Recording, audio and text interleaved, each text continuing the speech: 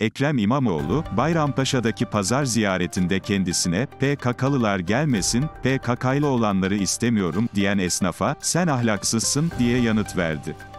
İmamoğlu, o zavallıyı dava edeceğini ve onu dedirtenlerle hesabının sıkı olacağını söyledi. İmamoğlu, milletin içine nifak sokulmaması gerektiğini ve kimsenin milli duygulara laf etmemesi gerektiğini belirtti.